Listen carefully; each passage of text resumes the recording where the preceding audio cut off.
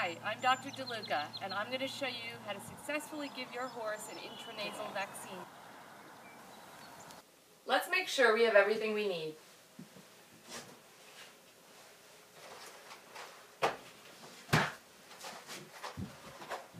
Today we're going to be using Streptococcus equi vaccine, which is Strangle's vaccine. And you'll have one green top tube of powder and one diluent or water. That's all you need, one of each.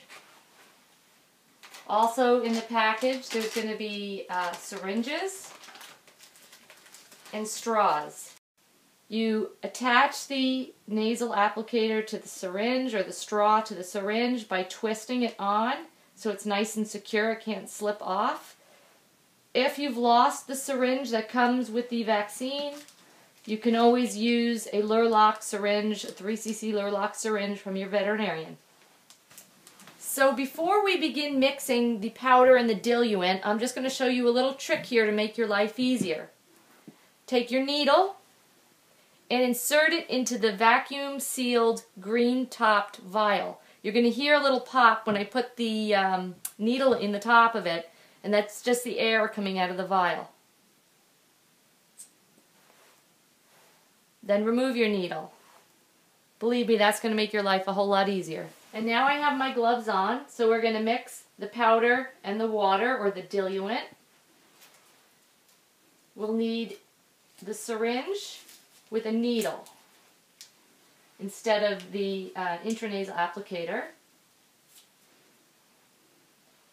Be very careful when handling um, your needles. Any size needle will do. I'm going to draw out the fluid, all that's in the vial. So there's probably about uh, two and a half cc's in that vial of water. Then I'm going to put it into the vial with the powder.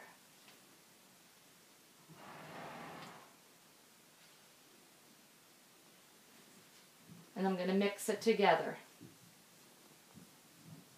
Make sure it's thoroughly mixed.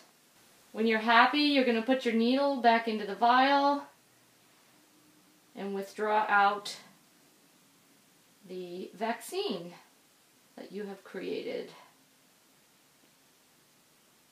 Okay.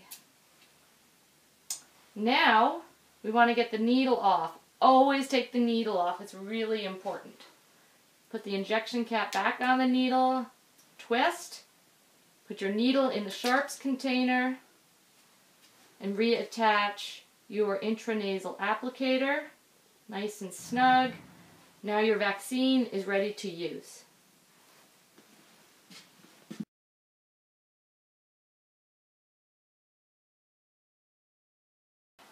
So I'm going to introduce you to my friend Opie, who's promised to be a good sport about getting vaccinated today.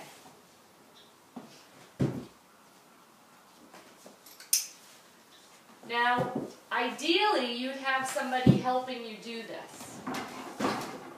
And you need a helper to stand, if you're right-handed, stand on the right-hand side of the horse and get your helper to stand on the left.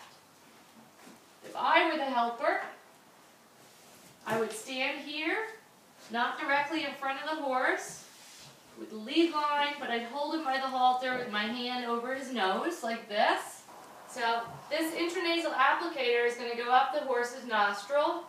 Now there's something called a false nostril right here. I'm putting my finger in there about two or three inches, but then it, it's a little sac and it ends. So if you put the tube up in there, your, your fluid isn't going to go anywhere. The idea is to get this up there and give it a good plunge, and then the fluid will spray up into his nasal passages and into the back of his throat. So now I have an assistant, Dr. Johnston, and I'm pinching the false nostril, and when I go to give this, I'm going to give it one, one fast motion. The applicator's in, head up, squirt.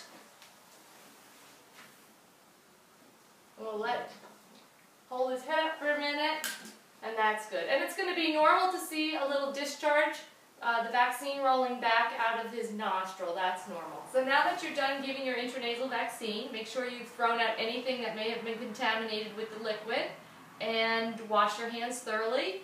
And be sure to give your horse a, uh, a treat or a Twizzler or something he likes.